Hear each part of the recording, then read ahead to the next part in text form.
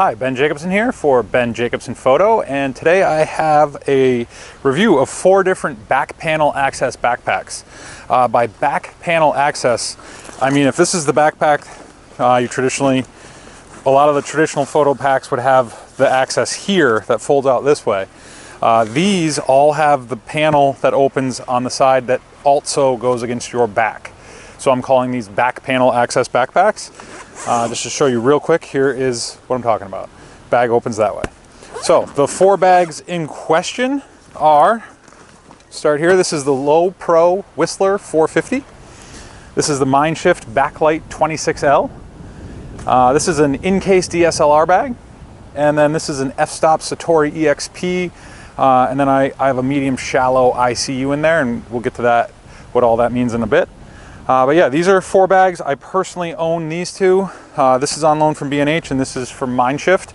Uh, and I've had these two bags, had this bag for two or three years now.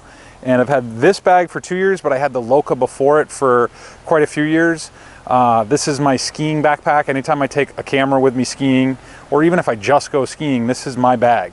Um, the reason I upgraded from the Loka to the Satori was simply size reasons. Uh, this is the biggest bag in the line and the Loka was the, one of the smaller bags. And you can, um, you can just fit more gear in it, but you can compress them down to be about the same size unloaded if you need, to, need them to be small. Uh, so yeah, I, I, switched to a larger size here. Uh, the other thing that's worth noting is I am a mirrorless shooter now. I'm filming this with my A7000, or A6000, sorry. And in this bag is my A7R Mark II. Um, and when I switched to mirrorless, I originally switched to Fuji, but when I switched, I realized that if I got a slightly bigger bag, my camera bag, I could actually fit all of my stuff in the bags. So to go along with all these bags, I also put tri a tripod inside the bag with the gear. So there's a tripod in each of these. This bag is actually carrying two tripods. Uh, the f-stop's the exception because it's set up to go skiing. I don't take a tripod skiing with me, um, but it could easily take any of the tripods I have in these bags. Uh, so yeah, let's get down to it. Let's start with a Lowepro Whistler 450. Uh, this is Lowepro's, it's a direct shot at the f-stop line. Uh, if you look at the bags, they're very similarly shaped. Um, their overall size is very similar, their layout's similar. Uh, it even comes down to this they make multiple, they call them ICUs, internal camera units, I believe that stands for. This has an insert, they just only make one. Uh, but if we open it up, you can see this is an insert that actually comes out of this bag. Um, I'm not going to take it all the way out, but you can see that if I do lift the bottom up, the whole thing will slide out. Um, now, their inserts, uh, Lowepro is very much about protection of your camera. This has, I, I, would guess it's plastic, but there's a very hard material in the side of this insert. It's at both sides, top and the bottom. Um, because that's there, this bag has a very rigid look to it when it's closed up. It looks very square because that insert is is rectangular slash square. So all the corners you're seeing here are from that insert really. Uh, the one thing I'll also add is there's a fiberglass stay that runs up this side and up this side inside the bag that keeps it slightly rigid as well. Um, but yeah, it's it does give it a rectangular shape where some of the other ones are a little bit more organic, rounded looking. Um, the other thing is because this insert is so thick, this bag actually has less space than the Mindshift in its interior component. If we open this real quick, this is about an inch to two inches taller than this, even though this bag is significantly smaller than this bag closed up.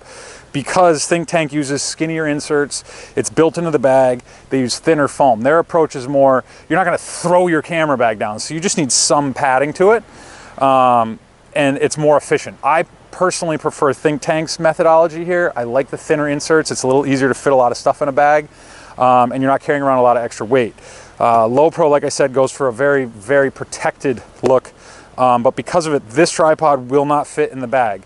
Um, two of the tripods I, I, have with me are, they're about 17, 18 inches long and they won't fit in this Whistler. To get a tripod in the Whistler, I actually had to borrow some tripods from B&H.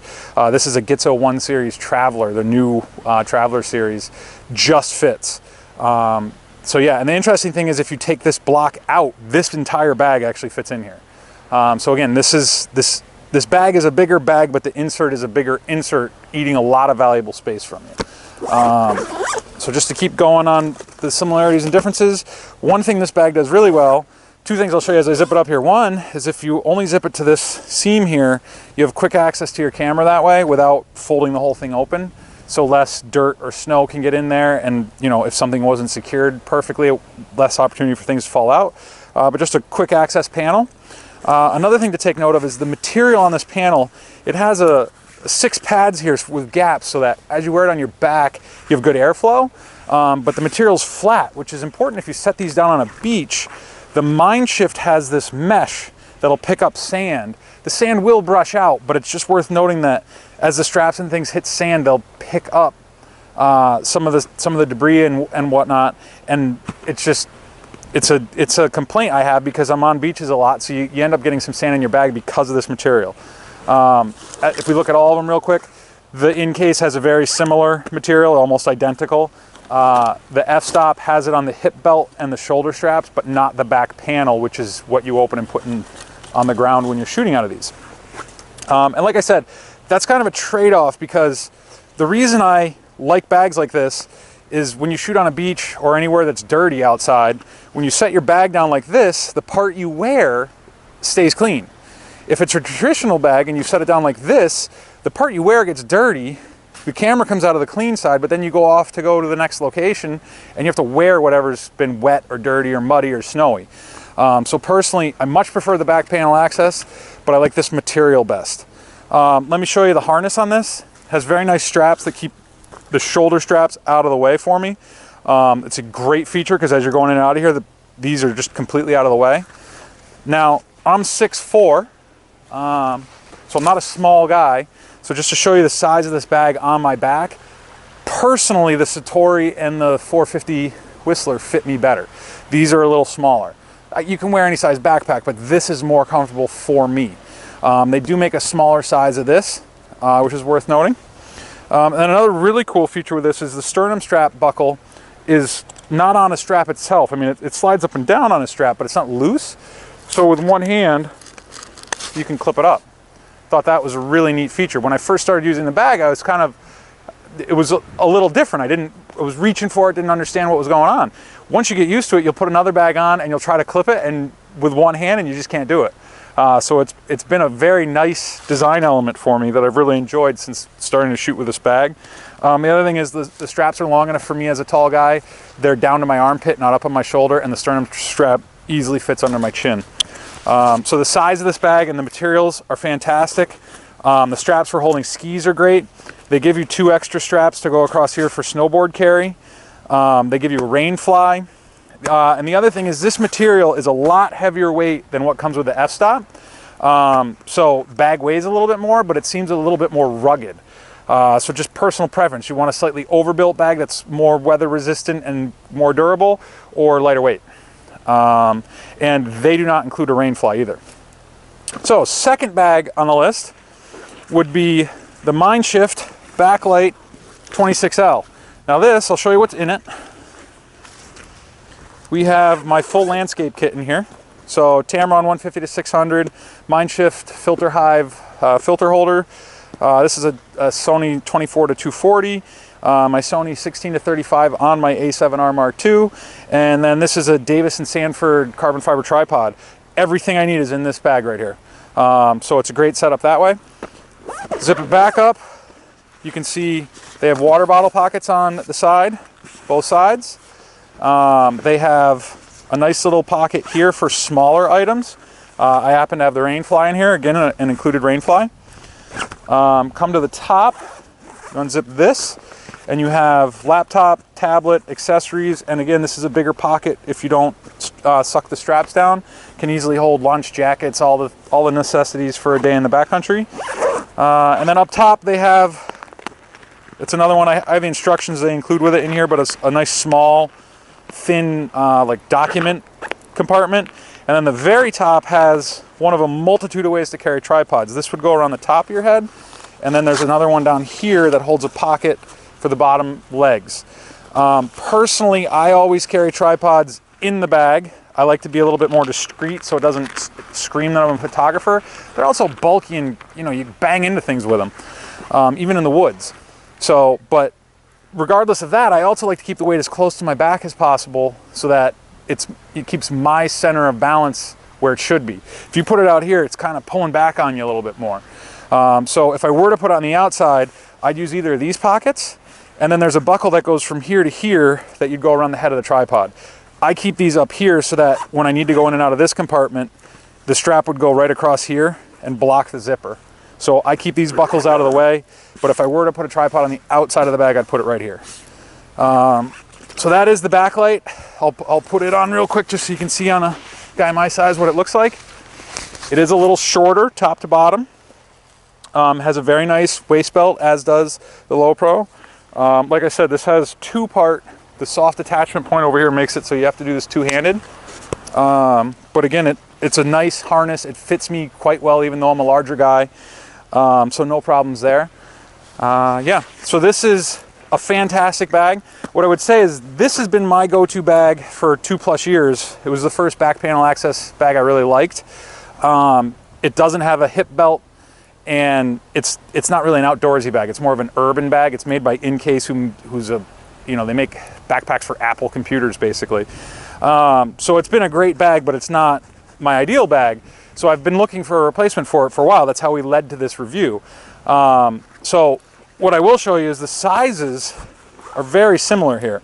The biggest difference is the camera compartment in the Incase is about only four inches thick, so it'll fit at like a 5D Mark III um, or a full-fledged DSLR flat.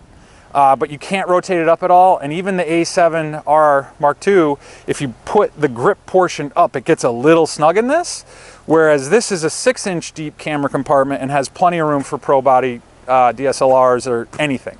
So they, they're similar, but that's a, it's got a much nicer camera compartment here, much nicer harness here. Um, interestingly, if you look at the front pocket, they're almost identical. They both have a laptop sleeve, they both have a tablet sleeve, plenty of accessories, plenty of room for anything you want to take with you for the day. Um, this has a little smaller thing here. I, I keep, when we you know, go to the city, I keep uh, my parking stuff in here, or, you know, I have a plethora of business cards in here, obviously. Um, a nice little small pocket. This is set up for tripod carry if you had a, like a really small tripod or water bottles fit well in there. And then this has um, two straps on the side for tripod and this size this side has another water bottle pocket. So it's been a great bag. It's very stealth maybe is the word for it. In terms of you want to go to the city and not really look like you're carrying a camera that's a great bag. The Mindshift is much more of an outdoorsy bag uh, but you pick up a lot of functionality with all that and it still isn't flashy. It doesn't scream I have a camera in me. Um, so it's a it's a great bag that way. Um, comes with and like I said comes with a rainfly comes with plenty of ways to carry stuff and plenty of space um, now to the f-stop real quick when you're looking at the f-stop it's a great outdoor adventure bag, nice and lightweight. Um, it's, it is a very nice backpack, but as a camera bag, all they do is they have a system where they put a what they call the ICU. You can get these in multiple sizes, which is obviously a nice feature. But the way these are built and the way they kind of rattle around in here, I'm not a huge fan of. This bag, if we open the top compartment up, it's a straight pass through. So any of the gear you're carrying in this bag, this this would be attached a little bit better right here. There's straps that hold it in place, but when you open this, your stuff comes out the back. The plus to that is if you need to get something that's in this section, you can open the back panel, have access to both. But the negative is you sometimes have like a jacket or some of your snacks falling out when you just want to get at your camera. Uh, so for that reason, I prefer to have these compartments separate. With the Lowepro, this has like an insert in it that keeps everything in, in their two separate spaces. Um, so yeah, it's a very nice hiking backpack, very lightweight. Uh, zippers are all fantastic. Harness is fantastic. Uh, but the way the camera works with the ICUs, I just don't like the ICUs. I put up with it because it's been the best bag that can carry my skis. But for me, the Lowepro has now taken over that role. Um, I'll be shifting from an f-stop bag to the Lowepro bag as my ski bag. Um, and then what I'm actually trying to do is get maybe to just one bag. As much as I love this Mindshift, I'm gonna try to make this bag work, make its insert work with a tripod so that it can be a one-stop shopping for me for backpacks. Uh, but yeah, Mindshift has replaced the Incase for me. The Lowepro has replaced the f-stop for me. And then hopefully I can get these two to function in, you know, get one bag that works, which because I take my skis with me on some trips during the winter and during the spring, I need the ski carrying ability this bag has. Uh, but, but, yeah, these two bags for me are significant improvements over those two. Um, so yeah, just wanted to show them to you, see what you guys thought. If you have any questions, leave them below or leave them on the on the website as a comment. Uh, and yeah, this is Ben Jacobsen for Ben Jacobsen Photo with a back panel access backpack review. Thank you.